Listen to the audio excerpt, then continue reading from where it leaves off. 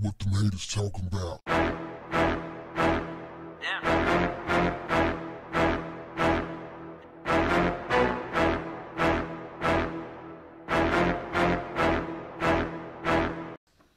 What's up, family? Florida strikes again. An anti Trump Florida construction worker stabbed his Trump loving boss to death. And then he draped an American flag over his body. Both of the men, Mason Toney and William Knight, was 28 years old. Knight was described as an outspoken American who was pro Trump, and Toney was described as anti government who was very outspoken in his beliefs that the government is bad and was out to get him. On the day of the murder, Knight had picked up Toney for work and they were driving to different job sites when they started to argue. Workers at the Florida Turnpike construction site in Metro Orlando said. When they arrived at the site, workers heard Knight yelling for help near the excavator. Now, check this out, fam. These two guys had a lot in common. They were both 28 years old. They were both construction workers. They were both very outspoken. They were both longtime friends.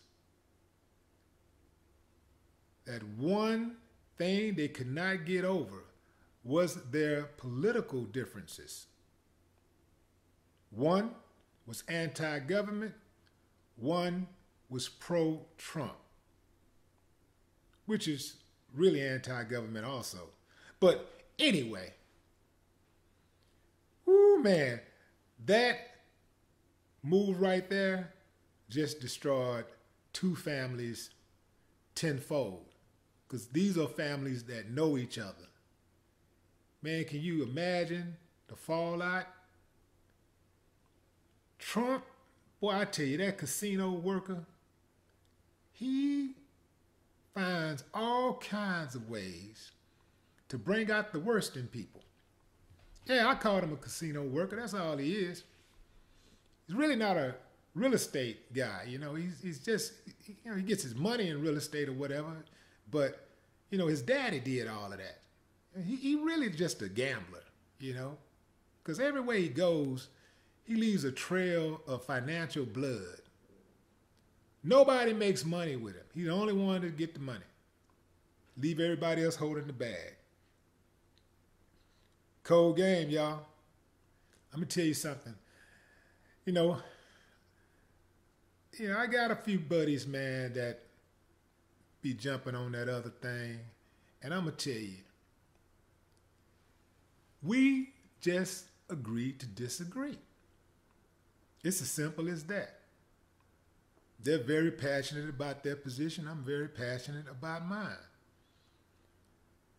But I'm not about to kill somebody because they like a certain person that I don't in a in a political party. This dude was not a Democrat. That's for all you people that's saying, well, another Democrat. He was not a Democrat. He was anti-government, period. He didn't like any politics. Anti-government what did he say to him? Like, what did he actually do? These guys, 28 years old, they've, they've been lifelong friends. So they've had many, many, many, many arguments. I wonder what exactly what was said this time. It had to be something. It had to be it had to be something major for him to cross that line. Mason Toney eventually hopped into a white pickup truck and took off. After a brief chase by the police, he crashed the vehicle and they took him into custody. He is now being held in jail without bond on murder.